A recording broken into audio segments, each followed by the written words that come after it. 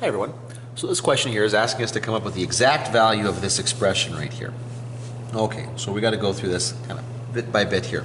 So first of all, negative 2 times the sine of 3 pi over 4.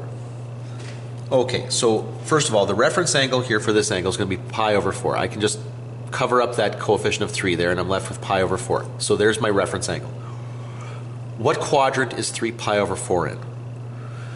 Well, okay, 3 over 4 is not quite 1, but it's getting close to it, and you round that up there to 1 here. So, so this must be in the second quadrant here. So sine is positive in the second quadrant.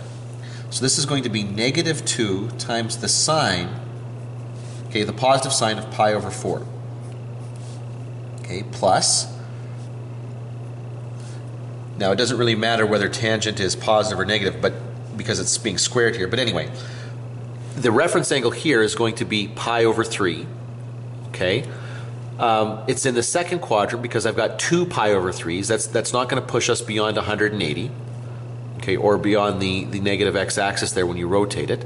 So this is going to put us in the second quadrant. Tangent is negative in the second quadrant, so this is going to be negative. The reference angle is pi over 3, but that'll be squared. So it doesn't really, that negative is kind of not, not causing me much difficulty here. Now this one over here, just be careful with this one negative pi over 2. That's, that's 90 degrees. Now, let's just think about that. Cosine is related to the x coordinate.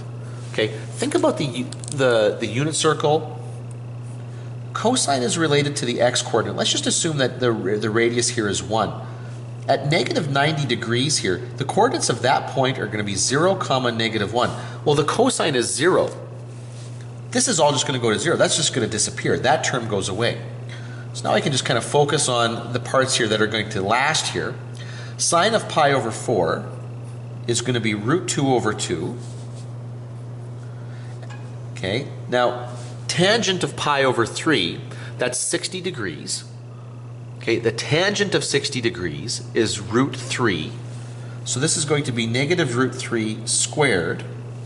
Now let's just do some simplifying here. The 2's cancel here, so this is going to be negative root 2 and then negative root 3 squared is going to be positive 3. So the answer here is going to be negative root 2 plus 3.